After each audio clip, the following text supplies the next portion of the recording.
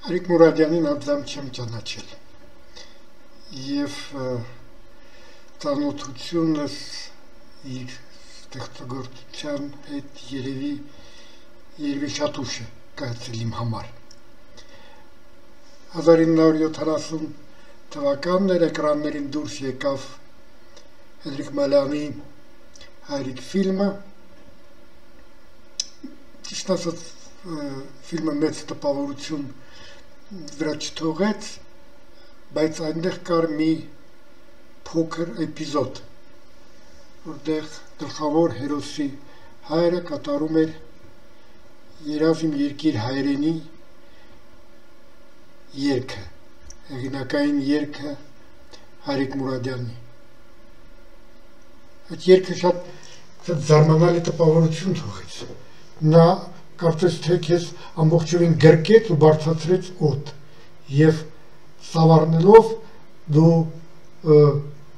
տեսար քո հարազատ երկիը քո ոտքերի տակ երբ երգ ավարտեց եւ երգ քեզ իջացրեց հողին դու արդեն ուրիշ մարդ ես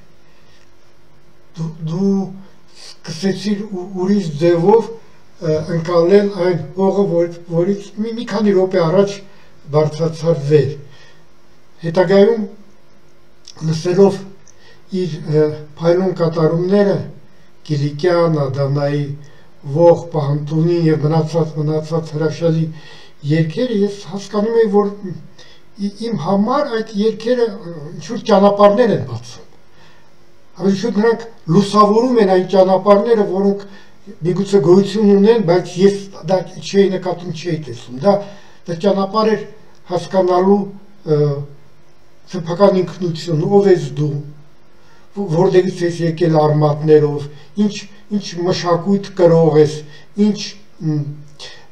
արժեքային համակարգ կրող ես, ինչ քաղաքակրթություն կրող ես, դասերը, որ տալիս են իր կատարումները դժվար է գերագնահատել։ Դժվար է նույնիսկ խոսքերով բացատրել։ Ինչպես ամենա ճիշտ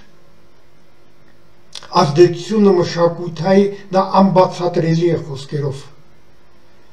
Դա պարզապես քեզ գրավում է եւ դարձնում է իր կողմնակիցը։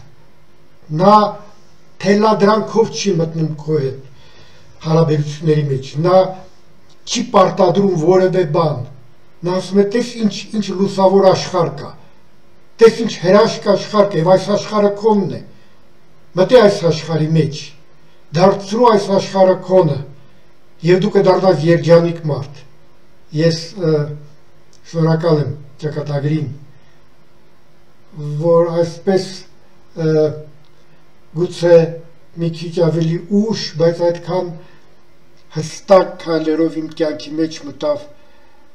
Հայրիկ Մուրադյանի ստեղծագործությունը։ Եվ սա այն դեպքն է, երբ որևէ բան չի թուլանում կապերից։ Ամեն անգամ լսելով իր կատարումները դու քո համար բացում ես եւս մի նոր